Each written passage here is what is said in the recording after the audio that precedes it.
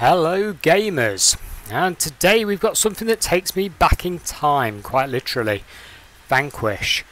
Originally released on the what, PS3 era? That sort of thing? Now coming to PC and hopefully we're going to see the game that the uh, the art designers and developers you know really wanted us to see. But obviously held back by the technology in the day in this video I'm going to go through every single option and settings that there is and also uh, go in game with some of the option settings. We'll go through some of the presets, see what it looks like and have a quick compare against the old PS3 version, see how much improvement we've got from this game, see what they've actually done. So without further ado, let's get straight into those options. Okay, game. Now I'm testing this game on a FX8350 at 4.2 an R9 290X with 4GB of VRAM and 16 megabytes of normal RAM at 1833. The game is installed on a 7200 speed normal hard drive, not an SSD, and the operating system is Windows 10 Pro, which is installed on a Intel SSD. So, how long do we take to load? Ooh, casual auto and casual. I wonder what that is. We'll stick it on casual. So, shouldn't take long to load, I once thought. It shouldn't be massive. Oh, look at that. Even though it's so old, that looks nice.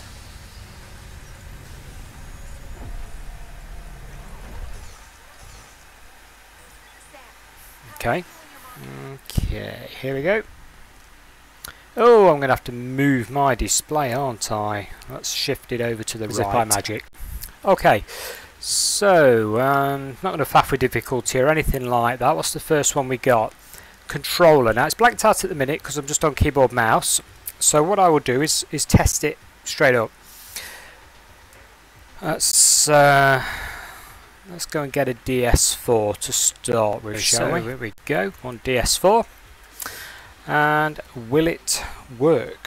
Where's my USB cable? Here we go. Not had much success lately with the DS4. Some of the more modern games that have come out, it's uh, it's not not played the game, not worked. Let's plug it in. Yeah, we got the Bing Bong saying it's uh, saying it's arrived. Okay, so although what? the DS4 is doing what you'd expect it to do with Steam, is jumping back to the uh, the Steam page when you press the PS button, it's not actually working these menus at all. Now, like I say, I've had trouble the last few games with the DS4 not working, so this is a possibility that there's something wrong at my end, and it is certainly something I'll check for upcoming games when I do these little videos. But as you can see, nothing at all working there. Um, yeah, pressing the button just goes. Yeah, as yeah. expected, straight into big picture mode again, so that's a no at the moment for that one. Uh, let's try a Xbox One controller, which I do expect to uh, work without problems. Normal Xbox One controller. It's actually a mishmash at the moment because my uh, charging kit is crackerjacked. So I've got a white back on it. What a mess. Anyway, let's uh, plug this in. Okay. Yes, straight away, look. You can't really beat an Xbox One controller, can you, for PC gaming? However, controller type look is still greyed out. Mouse, yeah, we know about mouse, but what about... No, we can't get to controller. It says Type A, don't know why. Anyway, moving on. So keyboard and mouse, mice, mouse, sorry, we've got loads of mice running around now. There's all your bindings for everything. It's pretty much as you'd expect. You've got your WA SD there, look. So, uh, and it is seamlessly swapping. We're on mouse at the moment, that's working, and then we swap over to controller, and that's working. So it's seamless, that's good. Right, if we go down, what else have we got? Just select weapons as usual through the number keys there. Can you use your, yeah, you can use your scroll wheel as well for selecting the weapons. Event, skip, bomb. Okay, Reload is R. It's your standard keys, guys. G is throw grenade. That's good. Let's go back. Vibration on and off for the uh, controller. Audio volumes. You got music effects and voice there. Okay. Vertical control. Normal or inverted. Said it before, say it again. I only use that for uh, sort of flight games, to be honest with you. You know, where you're flying along and when you want to dive, you push forward as opposed to pull back. Uh, so I'll leave that alone. Horizontal control. Again, normal and inverted. Uh, camera speed. That's uh, a different one. No, that's greyed out. Can't use that one. Score on and off. Simple enough. Subtitles on and off. Yeah. Com messages on and off. Brightness levels. Language select. And there you go. There's all your, your languages available. I'll leave that one alone. Graphics. The biggie. I'll tell you what, before we go in there, just let me put a, a, screen up or two showing the difference between PS3 and PC. So I'll flick over to them now for a few seconds and see what you think to those.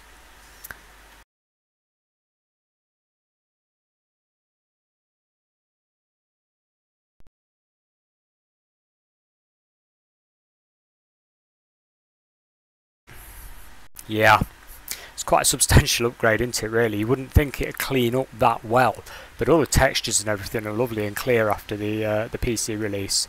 Really nice. Does it justice. Okay, graphics, let's go. Output monitor, yep, we only have one monitor, so you'll be able to choose there if you had multiple monitors. Resolution goes probably up to what your card will support. Yes, it does. I just saw a... Woo! That's a bit twitchy. Be careful with that. Well, that is twitchy. Hang on a minute. Can we get to that top one? Let's use the controller. So all the way up. Yeah, so you can. Oh, it's got red. Okay. Let's try that. Look at the video memory, guys. This guy game's showing its age. 789 meg. Wow. Do we have to activate that, though? Let's try. Yes, apply settings.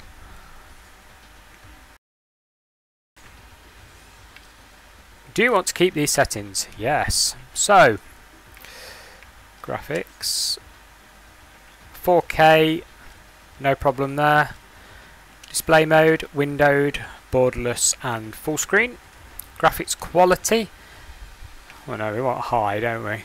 High is one and a half gigabytes. What's low? 650. That's at 4K. Bear that in mind. So we'll go we'll go high, and then we'll go custom to change everything. Yeah. So anti-aliasing. Oh yeah, we got a couple more.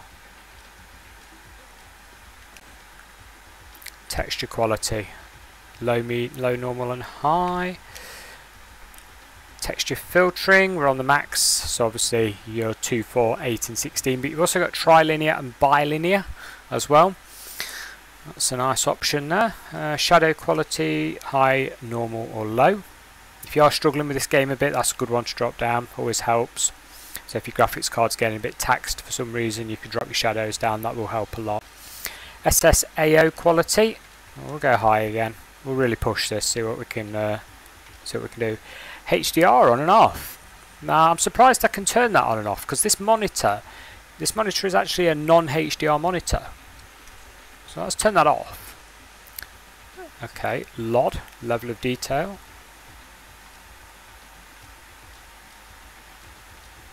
Interesting. Motion blur on and off, yeah.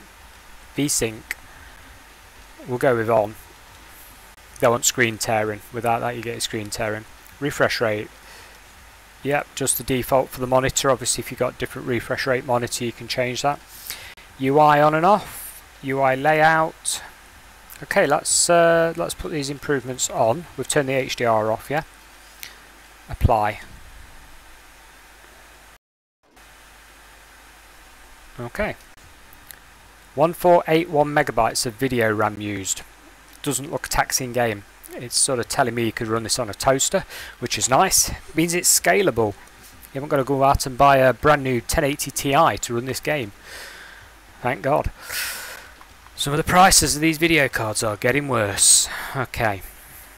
So we're saving. Let's uh, go into game with these options and see what we look like. Get into the proper game. Cutscene, skippable. Hmm. Yeah, we'll skip.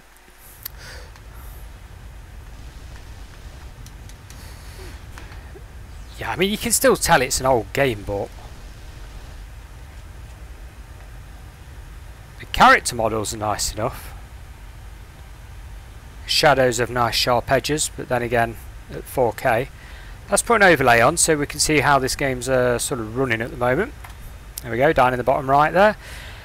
So we've got approximately 50 frames per second at 4K. And yeah, it is only using 1.3 gigabytes of VRAM at 4K with everything maxed. As for CPU usage, I think half the CPU's gone to sleep to be honest. It's uh, not taxing at all.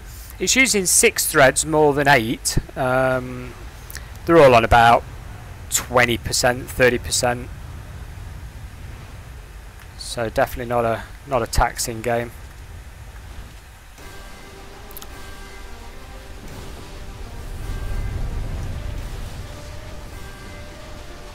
Skip. FPS 43.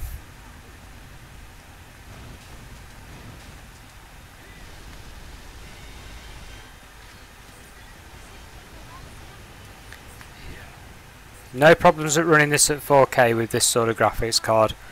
So uh, any of you guys that have got a 1070 or a 1080 or a Fury type card, you're going to breeze this game.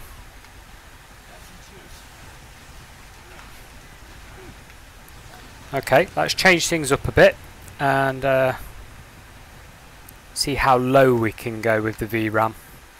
Can we change it in game? Let's check.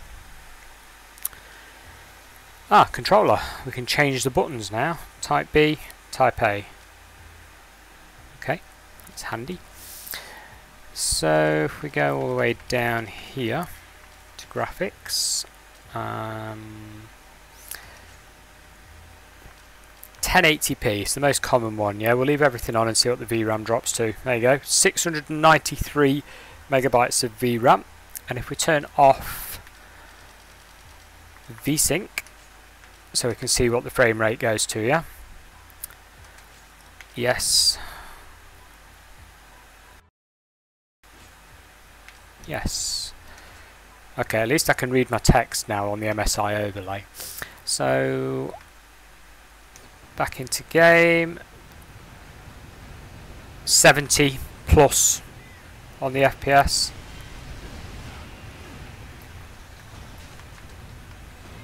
I think the original PS3 release was in like 720p.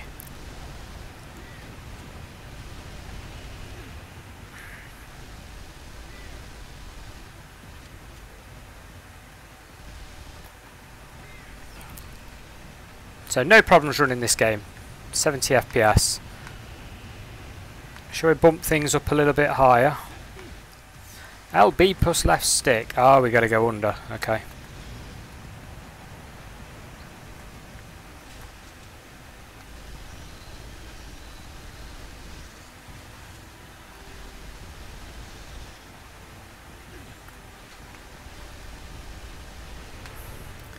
This reminds me of an old arcade game with these explosions. You know, ones you stick 10p in, or a quid as it is nowadays.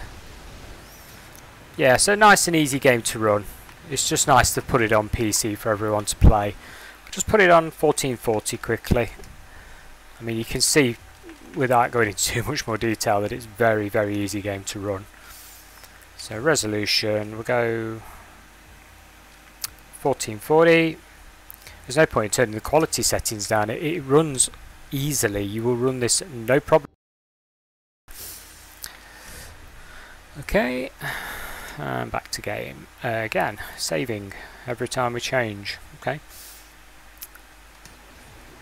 Okay, FPS 56, 57, 58. Just under 60 It's sort of 56 is the lowest one I've seen. 69. Yeah. No problem there. 1440p. Easily. I'd say anybody with a GTX 960 or equivalent, you, you're going to run this very straightforward. Even with big set pieces moving like this, there really is no problem. Nice and fluid, the controls are really fast, even on uh, controller, it is nice and quick.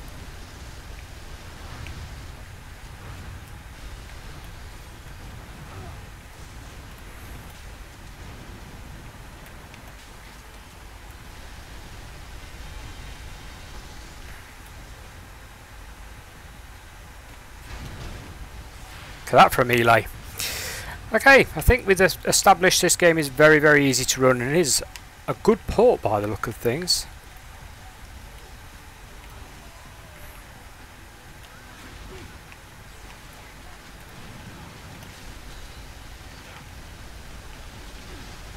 A lot of action, a lot of particles.